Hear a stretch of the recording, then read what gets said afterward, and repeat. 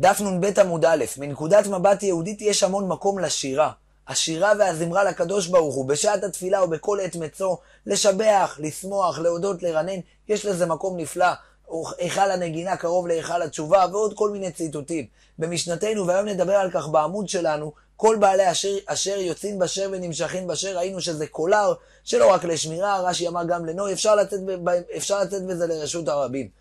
אומר כמדומני החוזה מלובלין או אחד מתלמידיו, הוא משבש קצת את המילה אשר, ואומר כל בעלי השיר יוצאים בשיר ונמשכים בשיר. כל מי ששר ומרנן לקדוש ברוך הוא, שהוא משבח בשמחה ועובד את הקדוש ברוך הוא בתוך שמחת הלב, בשירה ובזמרה, יוצאים בשיר, אפשר לצאת על ידי זה מכל הצרות, ונמשכים בשיר, זה מושך את האדם ומעלה אותו מהטומאה אל הטהרה. אומרת הגמרא הקדושה, דף נ"ב עמוד א', שלוש שורות מלמעלה, תנא דבי מנשיה. עז שחקק לה בין קרניה, אם עשית חור בקרניה, ושם אתה תוכב את האפסר שבה אתה מושך אותו, יוצאה באפסר בשבת מותר. אפסר רגיל, הוא אומר, עז דרכה לטלטל את ראשה אנה ואנה, והיא תשמט מהקולר, אתה תבוא לטלטל את זה ברשות הרבים. אם חקקת בין קרניה, מותר, כי זה לא יתנתק. באי רב יוסף, מה קורה? תחב לה בזקנה, הוא קשר את שערות זקנה, ושם הוא תחב את הקולר. האם מותר לצאת כך בשבת או לא? מהו? האם מכיוון דאי מנתח לה כאיב לה, היא לא תטלטל את ראשה כיוון שזה יכאיב לה בתלישת שערות הזקן, ועל כן מותר, ולכן לא עטיה לנתוחה. או דילמה זימני דרפי ונפיל, הקשר ישתחרר, הקולר ייפול, זה לא כמו שזה תחוב בחוזקה בחור שחקקת בתוך הקרן, ואם כן, עתי להטויה 400 ברשות הרבים, תיקו באמת אין על כך תשובה, והשאלה בעינה עומדת. תנן אטם, חוזרת הגמרא לדון בעניין נטירות היתרתא, דיברנו על כך מקודם, מביאה הגמרא על כך ברייתא. תנן אטם, ולא ברצועה שבין קרניה, פרה אסור לה לצאת ברצועה שבין קרניה. למה שמו את הרצועה הזאת? אומרת הגמרא. אמר בירמיה ברא בפליגי ברא ושמואל. אחד אמר, אחד מהם אמר, בין לנוי, בין לשמר אסור. פרה לא צריכה שמירה של רצועה. פרה היא בהמה צייתנית, היא הולכת אחרי בעליה, היא לא נזקקת לשמירה יותר מכך. ועל כן ברגע שאתה שם רצועה לשמר, זה הופך לנטירות היתרתא.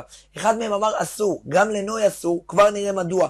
ואחד אמר לנוי אסור ולשמר מותר. אם כן, אנו רואים שלגבי לשמר הם נחלקו ככל הנראה אם מותר נטירות היתרתא או לא. לגבי נוי שניהם אסור, כיוון שאין דרך הבהמה, אין דרך פרה לצאת ברצועה, זה נוי שאין דרך הבהמה לצאת כך, ועל כן ברור שלפי כולם אסור. אמר רב יוסף, תסתיים דשמואל ודאמר לנוי אסור לשמר מותר, ששמירה יתרה מותרת. למה? דאמר אבונה ברכיה אמר שמואל, הלכה כחנניה ששמירה יתרה מותרת, אם כן ברור ששמואל הוא זה שמתיר, אם זו רצועה שנועדה לשמר. אמר לאביי, אדרבה, אני אביא לך מש, מקום אחר ששמואל אומר להפך, תסתיים דשמואל הוא דאמר, בין לנוי בין לשמר אסור, ששמירה יתרה כן נחשבת למסע. רב יהודה אמר שמואל מחליפין לפני רבי, ראינו את זה בעמוד הקודם של זו בזו, מה הוא אמר לפניו, רבי אמר לפניו רבי ישמעאל ורבי יוסי, כך אמר אבא, ארבע בהמות יוצאות באפסר, הסוס, הפרד, הגמל והחמור. לאו למיעוט הגמל בחתם שאסור שמירה יתרה, ואם כן גם כאן אנחנו, אנחנו רואים ששמואל הוא זה שהביא את האמרה הזו. ככל הנראה גם הוא סובר ששמירה יתרה אסורה. אמנם למי שזוכר, אתמול כבר ענינו תשובה שזה נועד באמת לומר שרק הם ולא נעקה, אבל בכל אופן הגמרא חושבת שאולי הדחייה שאמרנו זה דחייה בעלמא, ועדיין הדין נשאר קיים כפי שאמרנו כאן. ואם כן, שמואל סובר ששמירה יתרה אסור. אמר רב יוסף ששמע את זה, סמי עמי קמאה. תמחוק את מה ששמואל אומר שם לגבי הארבע בהמות התיר רבי, ותשאיר את מה ששמואל אמר הלכה כחנניה, ואם כן באמת תסתיים, יש לנו ראיה ששמואל הוא זה שמתיר בנטירות היתרתא, והוא יתיר לגבי פרה אם הרצועה נועדה לשמר. שואלת הגמרא, רגע, אם יש לנו פה שני מקומות, שני מובאות של שמואל, באחת הוא מתיר ובאחת הוא אוסר. באחת הוא אומר ששמירה יתרה מותרת ובאחת אסורה, מה ראית למחוק דווקא את זו שהוא אומר שהיא אסורה, ולקיים את זו שהוא אומר שהיא מותרת? ומה אחד לי דמסע מתאה מקמאה, מדוע אתה מוחק אחת מהם, סמיה מקמאה, תמחוק את האחרת, תמחוק את מה שהוא אומר, שנטירות היותר תמותרת, ותשאיר שהוא אומר שאסורה. אומרת הגמרא, לא, מצאנו מקום נוסף, שבו שמואל אומר בפירוש שהיא מותרת, ועל כן אני לא מתייחס לרק מה שהוא הביא הלכה כזו והביא הלכה אחרת, אלא למקום שהוא אמר ודיבר בפירוש ששמירה יתרה מותרת. דאשכחן שמואל הוא דאמר לנוי אסור לשמר מותר, דאיתמר יש לנו ברייתא שמפורשת עם שמות האמוראים. רב חייא בר אשי אמר רב בין לנוי בין לשמר אסור, ואילו רב חייא בר אבין אמר שמואל לנוי אסור לשמר מותר, אנו רואים ששמואל אומר בפירוש ששמירה יתרה מותרת. אומרת הגמרא בוא ואקשה לך על רב. פרה אדומה כל אחד יודע, יש ציווי מהתורה, אם יש לך פרה אדומה, דווקא אשר אין בה מום, אשר לא עלה עליה עול, שתהיה אדומה לחלוטין, לוקחים אותה ברוב רושם טקס מיוחד, שורפים אותה בהר הזיתים, משתמשים באפר שלה לטהרה וכולו. סך הכל שבע פרות היה לנו במהלך ההיסטוריה היהודית. בכל אופן אומרת הגמרא, אם לבן אדם יש פרה אדומה, קשרה בעליה במוסרה, אסור שיעלה עליה עול. אבל מה קרה אם הוא קשר אותה במוסרה בשביל לשמור אותה? כשרה, והרי כפי שאמרנו, אם אתם זוכרים בברייתא לעיל אמרנו, פרה כלל אינה צריכה שמירה. אם כן, יש לנו כאן את תירותא יתרתא, לפי רב מה אמור להיות? שמירה יתרה זה מסע, אמורה להיות הבהמה, פרה אדומה פסולה, ויזעק הדתך מסויו, אשר לא עלה, לא, עליה, לא עלה עליה עולם הרחמנה, ואם כן היא אמורה להיות פסולה. עונה הגמרא, לא כאן מדובר שהפרה הייתה זקוקה לשמירה הזו. מדוע? אמר אביי במוליכה מעיר לעיר. כל עוד והבהמה בעיר באמת היא לא צריכה שמירה. כשאתה מוליך אותה מעיר לעיר, יש חשש שהיא תטעה בדרך, תסטה ימין ושמאל, ועל כן שמים עליה מוסרה, זה לא נחשב לשמירה יתרה. רבא אמר שני פרה דדמי היקרין. פרה אדומה זה השמירה המינימלית עליה, כיוון שהיא כל כך יקרה, כל כך קשה להשגה, כשיש אותה כבר שומרים עליה בצורה הטובה ביותר.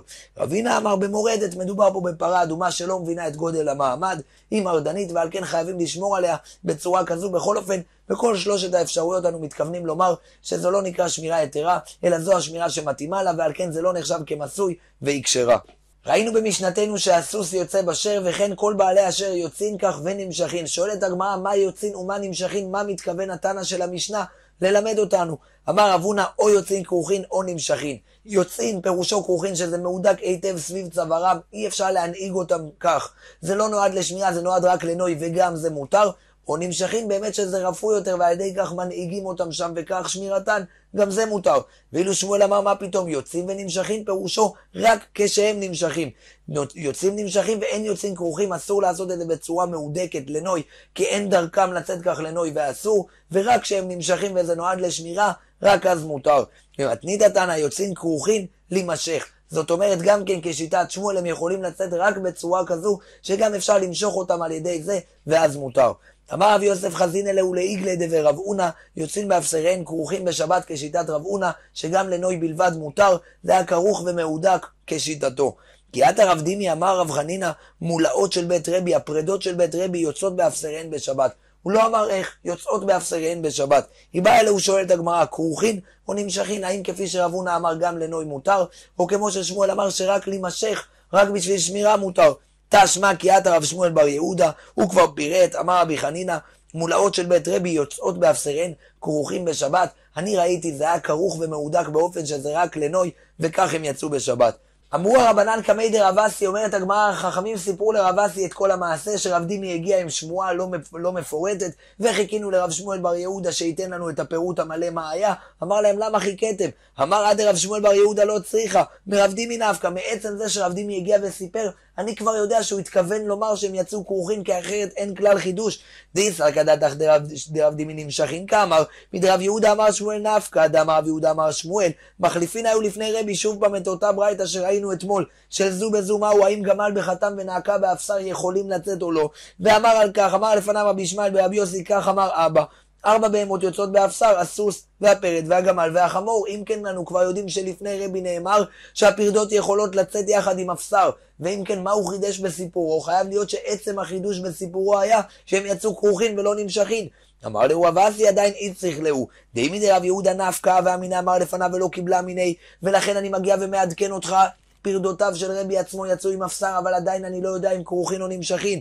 כמה שמען דרב דימי. ואידרב דימי הווה אמינן אמיליה נמשכין, אבל כרוכין לא. כמה שמען דרב שמואל בר יהודה. וכרגע אנו באמת יודעים גם שרבי פרדותיו יצאו בשבת עם אפסר, וגם שהם היו כרוכין ולא רק נמשכין, ובכל אופן רבי התיר, כי גם לנוי מותר הוא כדבריו של רב אונה לאל. בהצלחה רבה ולהתראות מחר.